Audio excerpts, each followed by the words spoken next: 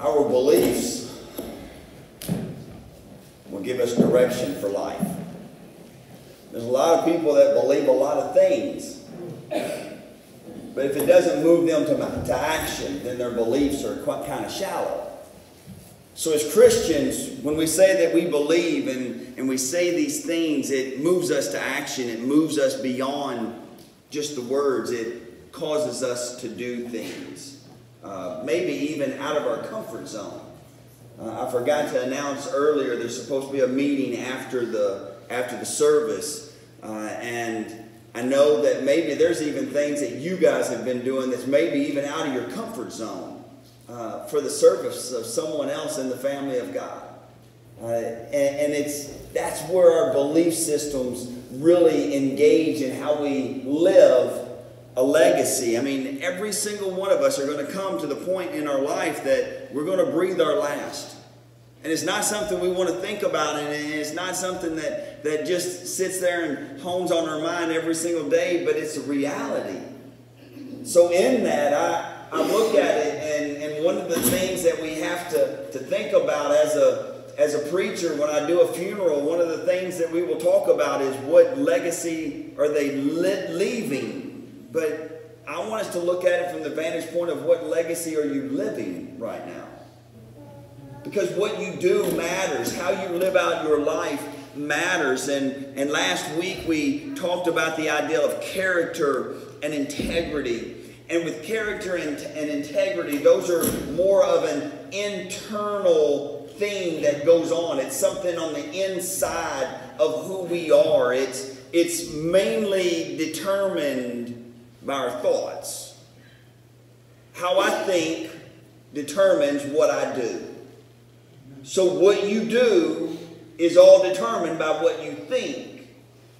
And when we don't take captive our thoughts, our actions, well, I tell you what, I'm getting a lot of feedback in. Let me, let me take that little cord right there out. I'm going to lay it right there like that. I think that thing's not getting me. Either that or the New England Patriots are too close to the front. but my thoughts, they matter. And, and think about it in the, in the sense of how you go about your normal day, whether you're in a good mood or a bad mood, is determined about what you are thinking about, what it goes over your mind over and over and over. How you determine someone else's worth is what you think about them. And those thoughts that keep running over your mind determine what you say about them, how you act towards them, how you live out your everyday life. For some of you, your thoughts of disgruntledness to an individual has gotten to the place in your life that you've become so bitter that you can now say they have control over your thoughts even though they're not even trying. I mean, the reality is, is a lot of times you give people control of your thoughts and they don't even know it. They don't even know you're upset. They don't even, some of them do know that you're upset and they don't care. And yet you still give them that control in your mind. See, the Bible tells us a couple of things from last week. Guard your heart above all else for it determines the course of your life. That inner being, that will, your intention, what you do with your life, guard it because it matters. The Bible also says don't copy the behavior and the customs of this world, but let God transform you into a new person by changing the way you think. Man, I don't know about you, but that's pretty difficult as the saying goes, it's tough to teach an old dog old tricks, right? Uh, yeah, new tricks. Yeah, I mean, if the old dog didn't learn any tricks in the first place, it's even tougher to teach them tricks at this point because they'll look at you and go, I don't care now. You've been feeding me this long without me doing stuff. I'm going to keep getting fed whether or not I do it or not. That could be a cat, though, couldn't it? I don't know. It reads, Then you will know. Then you will learn to know. See, we don't always know God's will for our life. And what I think and how I think, and when I change my thinking patterns of what I think about, what I put into this body, what I put into my mind, it will teach me what it is that God's will for my life is. And as I learn and I grow and I expand upon this, I will see that His will is good and perfect and pleasing. See, my thoughts matter. The Bible tells us this morning to fix your thoughts. To fix your thoughts on what is true, what is honorable, what is right and pure, what is lovely and admirable. Think about things that are excellent and worthy of praise for us as we look and we think about that character and that integrity on the inside, I want us to move on to living a legacy and think about virtue or power.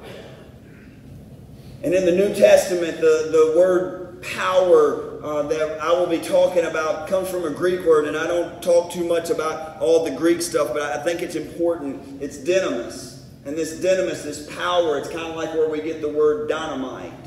You know, it can be very explosive and be very bad, or it can open up avenues for you to be able to travel through it. It's, it's in how the power is used that determines whether it's good or bad. And in this power, we also see that, that there is something called virtue. This virtue and power go hand in hand. That when we think about virtue and power, it's not something that's just internal, it is now something that has come out of me. So what comes out of me, this power, this, this virtue, matters. See, the Bible tells us in Mark chapter 5, looking at verse 24. Jesus went with him, and all the people followed, crowding around him.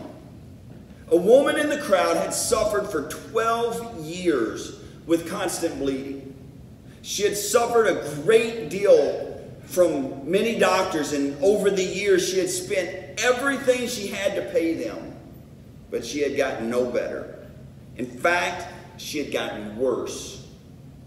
She had heard about Jesus, so she came up behind him through the crowd and touched his robe. For she thought to herself, if I could just touch his robe, I would be healed. Now, I want you to envision this crowd of people. I want you to imagine us all getting in the hallway out there, all of us at the same time. And Mitchell comes walking through the crowd of people, and there's somebody there that says, I must just touch his robe. And if I touch his robe, everything's going to be okay. So this crowd is there and everything's going through. And in verse 29, it says, immediately the bleeding stopped. She could feel her body that she had been healed of her terrible condition. Jesus realized at once that healing power, virtue, had gone out from him. So he turned around to the crowd and asked, Who touched my robe? What? I mean, can you imagine him walking down and us all in that hallway and going, Who touched me? I mean, you would kind of look around going, What do you mean, who touched you? It's a crowd of people there's a lot of people in this hallway here. It's pretty tough for somebody not to touch everybody. You touched a lot of people. What are you talking about? And his disciples said to him, Look at this crowd pressing around you. How can you ask, Who touched me? But he kept looking around to see who had done it. Then the frightened woman, trembling at the realization of what had happened to her, came and fell to her knees in front of him and told him what she had done. And he said to her, Daughter, your faith has made you well. Go in peace. Your suffering is over. All these people coming around Jesus, this entire crowd bumping, touching, nothing changing, nothing happening. Everything's just like any other day. My feet touch his feet. My elbow comes against his arm. I, I come through and our knees knock against each other. No difference. Nothing changes. And yet this one woman touches Jesus and he stops and says, Who touched me? And it made all the difference in the world to this woman. It changed her life. See, this virtue, this power that, that went out of Jesus is not just about character and integrity, which Jesus has the utmost of them both. But this power came through. I asked this question this morning What comes out of you when you are bumped?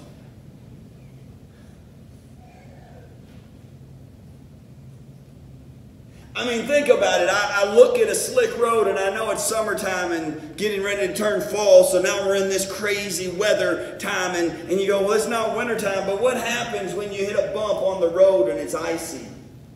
What happens when something kind of knocks into you a little bit? What happens? What happens when you get up in the morning on the wrong side of the bed and somebody bumps into you. You know, the proverbial bump. It could be a real bump. It could be just a, hey, how are you doing? And, oh, I just said hi. And you go, man, what is going on up in here? And what happens is we don't see the power we have with our words and our actions. And the virtue of that is something that comes out every single moment of your life that people are around you, in a, in a, in a sense, we're kind of like these fruit trees. You know what a fruit tree is, right? I'm not calling us a bunch of fruits. I'm just saying we're a fruit tree, right? And, and the fruit that comes off that tree, people take a bite of that fruit, do they not? And every time they get around you, they determine are you good fruit or bad fruit? You ever get around a tree and you see it? I mean, I grew up on a farm and, and there were apple trees, and it didn't take me long to look up into the apple tree and realize which apples I didn't want to get. I mean, do you know what's worse than finding a worm in your apple? Y'all have done it, haven't you? to get an apple and it's all bruised and it's soft and you bite into it and you just kind of, you just want to, you know what I'm saying, right? Yeah, I'm out on the farm, I'm outside, I just spit it out right there. I don't care.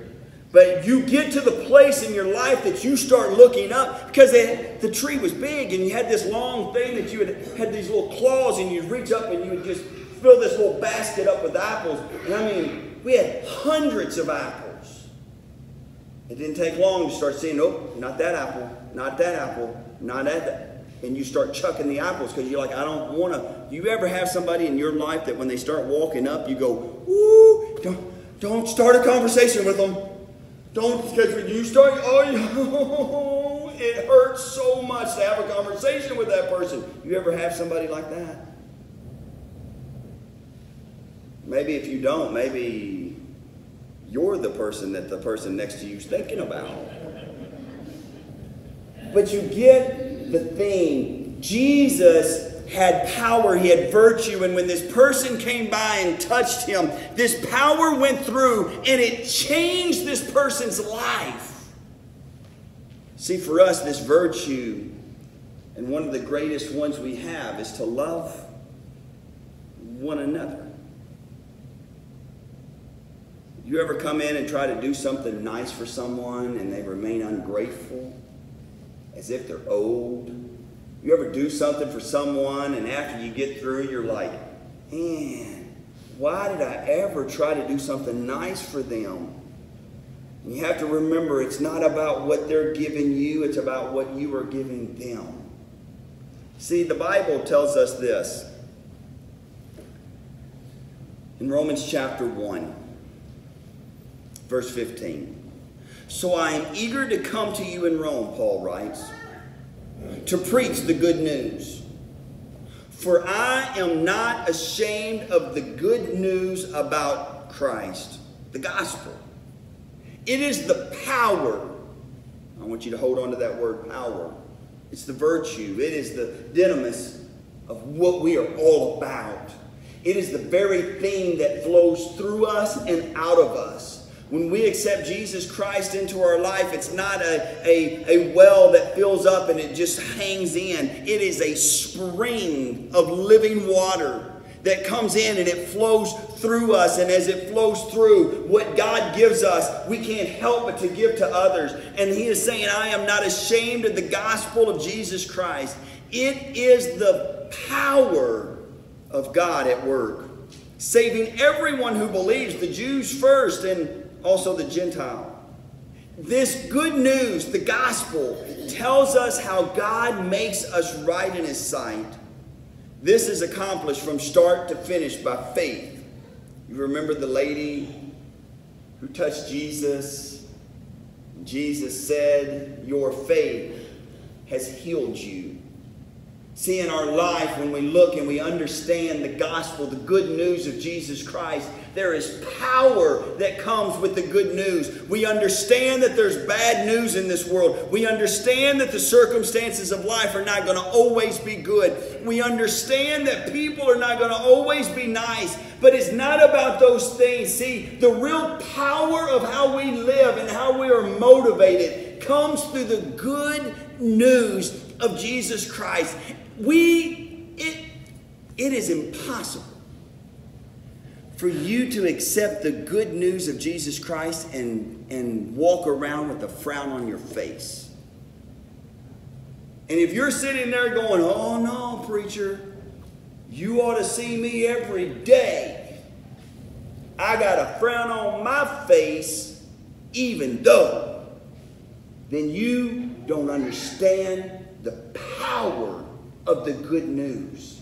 And in this very moment, as we continue on and I show you a couple of more verses, I want you to grapple with the idea of changing your thought process of what you focus upon every day and what takes control of your life. What are you giving power to? Or who are you giving power to? See, the Bible tells us it is through faith that a righteous person has life. See, what comes out of you when you are bumped bumped by life, bumped by circumstances, bumped by someone who gets up in your face, bumped.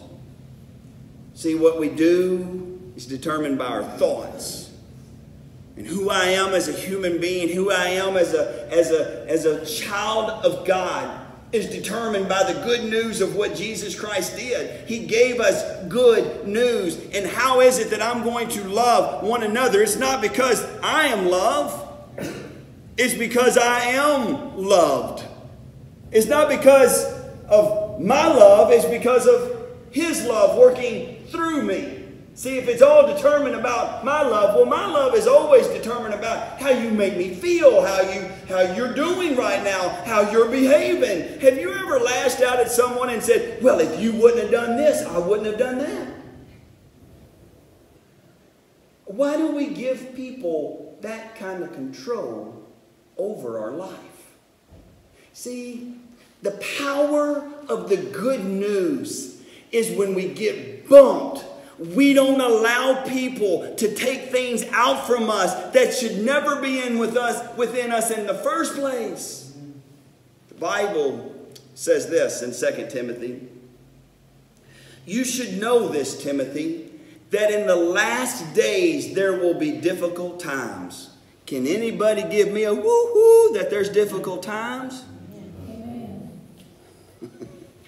It ain't getting no easier. I don't care if Apple is coming out with the new iOS 12. Though I'm looking forward to it, you know what I'm saying. For people will love only themselves and their money. They will be boastful and proud, scoffing at God, disobedient to their parents. I mean, when I was a kid, I got in trouble at school. My mom and dad didn't go to the teachers and fuss at them. They said he went to the teachers and made sure that I got in trouble there and said when I got home, I was going to be in trouble there too. Now, nobody gets in trouble for nothing. And we look at it and we say, where is the respect in life? God's word is telling us very clearly. And what we put into our hearts and what we put into our minds, it determines our actions to where all of a sudden nobody has respect for anybody and they become ungrateful. Oh man, I remember, I, I think it's just about been every one of my children when they were younger, they would get a gift, you know, at Christmas time or birthday. And, and I think most parents have probably gone through this to where they, they come and they go, I already got one of these. I'm not sure that's how they did it. That's just how I perceived it. And I'm like, uh, you say, I have one of these one more time, you won't be getting none of nothing no more. You are to be grateful. It's something that we teach. It moves on and we move forward and we understand this. But the Bible tells us very clear that people will become disobedient to their parents. They're going to become ungrateful. We look around the world today and what do we see? They will consider nothing sacred. For the younger generation, they know not of businesses being closed on Sundays. And many of you here remember it. Why? Because they didn't want to get money? No, because they knew this day was sacred. They knew what God was all about, and they knew that they were to set apart a day to rest and to worship and to be a part of Him. And now we get to the place to where nothing is sacred. Do we see that in our world today? Paul goes on telling Timothy,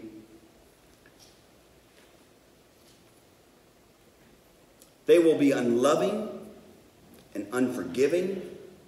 They will slander others and have no self control. They will be cruel and hate what is good. Do we see that?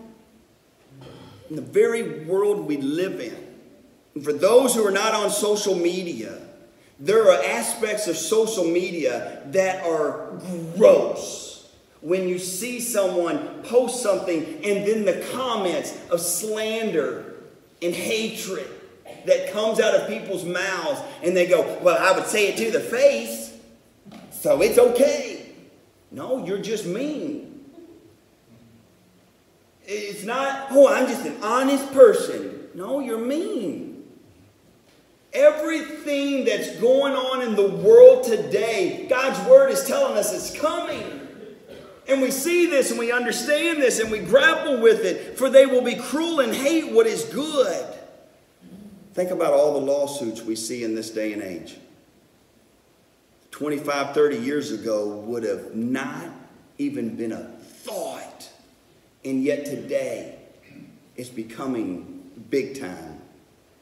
They will betray their friends, be reckless, be puffed up with pride, and love pleasure rather than God. It's the world we live in. So, what are we tasked to do? We're tasked to do this. When we look and see, there will be people who act religious, but they will reject the power that could make them godly. The Bible tells us to stay away from people like that. Now, I know there's a lot of people in the world who want to cut those verses out. There's a lot of people who want to take that out. And the reality is, is one of the biggest downfalls in Christianity are people who claim to be Christian and then go out and live a lifestyle and a life that is contrary to God's holy word. So, in our life, if we don't allow God's holy word, His power of the gospel of Jesus Christ, to come in and transform my life, to change the way I think about how life is and what it means, then this power will never do anything to change me. There was a man, I think his name was Colonel Plum. And, and he tells a story of when he was in the military. I, I can't, you'd have to look it up. But he talked about when, when Pearl Harbor happened. Most, most of you know about Pearl Harbor, right? And he says, I remember getting on that boat and he says, as I got on the boat, as the sirens were sirening off, he said, I remember that Wednesday night I had went to church. And for that Bible study, they said, here's what we're going to do for our Bible study. Everybody's going to tell your favorite Bible verse. You're going to quote it, and you're going to tell us why that's your favorite Bible verse. And he says, I was towards the back, and he says, I went into panic mode. I'd been going to church all my life. And yet I didn't know a favorite Bible verse. And he finally, when it got close to me, I realized and I thought, John 3.16, that's the one. And he said, the person right next to me did John 3.16. He said, then that day came that I remember getting on that boat. And he says, we weren't ready for war at that time. And he says, on the boat I was on, all we had were blanks. And he says, as the Japanese planes were flying over, here I was, we were shooting these planes, but there was nothing coming out but blanks. And he said, I remember crashing down to the side of the wall there and saying to myself and saying to the Lord, Lord, this is my life. I've been going to church. I've been doing these things. I've been saying this stuff, but really it's hollow. It's shallow. It's not there. It's been fake. There's no power in it. I've been living a lie. And he says, Lord, if you get me through this, I promise you, I will change my life. It's an interesting story. Because, see, for some of us, maybe not sitting here, maybe listening to it on video, maybe as you walk around and you see the, you hear people, they bring up prayer, then you see the rest of their life, and you're like, why do you talk about prayer when the rest of your life doesn't do anything for the glory of God? See, there's no power in it. There's no way that I'm going to find that joy that we sing about. There's no way I'm going to find that faith. There's no way I'm going to, when I get bumped into, love's just going to come flowing out of me. There's no way I'm going to love one another because in my heart I feel like that everything is for me. I've become selfish. I've become self-centered. I've become it's about me, my, I, I want, I want, I want. And it doesn't really matter what everybody else. And if they're not doing something that pleases me, then I'm just going to throw my hands up and forget everybody life today. Paul understood this and he told Timothy that. In 2 Timothy chapter 1, two chapters before that, Paul said, This is why I remind you, Timothy, to fan into flames the spiritual gift God gave you when I laid my hands on you. For God has not given us a spirit of fear and timidity but of power, virtue that comes out of me, love that's not just in me, it flows through me, and self discipline, self control. That thing that says when someone bumps up against you and he says, fan into flame this, so never be ashamed to tell others about our Lord. See, in our life, the greatest power that comes in and through us is to love one another. And in that loving one another, it changes how I see people. It changes when people bump into me, my reaction. And I don't give them control of my life for me to do things that are quote unquote dumb because they did it. It's about the love of God. See, for you today, Here's the hope that as we look and we understand and we grapple with the idea of the love of God, what comes out of you when you're bummed. Not when things are going great. When things are going great, everybody can be happy. When things are going great, everybody can talk well. But when things are not going so great, what comes out of you? Paul told Timothy, and I tell us today if you find your joy waning, if you find bitterness brewing, if you find unforgiveness a part of your life, then fan into flames that gift that God has given you. That gift of the good news of Jesus Christ, because I'm here to tell you there is nothing more powerful than the love of Jesus Christ in and through our life. And it doesn't matter what this world throws your way. I again repeat it. It doesn't matter what this world throws my way. It will never have control of the joy and the love and the peace that we have that comes through Jesus Christ. So when it bumps up against you, don't lash out. Give the power and the virtue of the love of God flowing through you. When people speak evil of you, they will be put to shame, not by you, but by the Lord Jesus Christ. So one day we'll all get to see Jesus Christ face to face. We'll give an account for every word and every deed and every action that we have done. And this is my prayer for you, the same prayer that Paul gave to the church in Ephesus. And I'm going to ask you guys to stand as we go to the Lord in prayer. And you guys come to, to sing this morning. Lord, I ask that you would help each one of us to fan into flames that virtue, that power. And when someone comes along, they're needing a healing touch from Jesus. Lord, sometimes that's us. For Lord, you work through people. So as the world bumps up around us, help us to always see and to give love. Lord, even the other day I was in a place and I didn't recognize the couple. I, I didn't know who they were. And they had seen that I had signed my name on something, Lord, and they came to me. They said, I'm praying for your daughter. And they told me who they were. Lord, it's even in moments when you don't know someone that the virtue of who you are, the gospel, is always there and up front. Lord, for some sitting, standing here right now, Lord, he, it, this is a great church, it's a great group of people, but Lord, just by the mere numbers, I know there's someone who has not invited someone else to church in forever.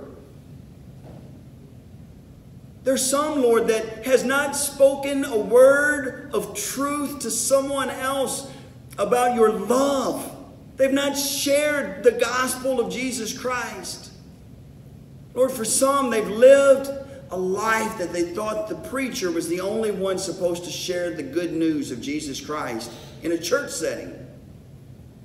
That's not the truth, God. So I ask you in this moment to help change their thought patterns, to change their way to see the blessings of God that they're missing out upon, and to realize that there are people who are going to bump into them. And as Paul wrote in Ephesians chapter Lord, uh, chapter 1, Lord, it, reads, Ever since I first heard of your strong faith in the Lord Jesus Christ and your love for God's people everywhere, I have not stopped thanking God for you. I pray constantly for you, asking God, the glorious Father of our Lord Jesus Christ, to give you spiritual wisdom. Lord, give us spiritual wisdom and insight so that you might grow in your knowledge of God. Lord, help each and every one of us to realize we have not become who we can be. There's still more left ahead. Lord, I pray that all of our hearts will be flooded with light so that we can understand the confident hope that Jesus Christ has given to those he called the holy people who are his rich and glorious inheritance. Lord, I also pray you will help us to understand the incredible greatness of your power, your virtue for us who believe in you. Lord, this is the same mighty power that raised Jesus Christ from the dead and seated him in the place of honor at your right hand in the heavenly realms. Lord, I pray for that person this morning who is sad to find your joy. Lord, I pray for that person this morning who may feel bitter or broken to find forgiveness and love. Lord, I pray for that one who feels all alone to know that they have a family surrounding them. Lord, I pray for those who are going down the wrong path, following the wrong people, doing the wrong things. Lord, that they would find the power of the gospel of Jesus Christ in and through their life.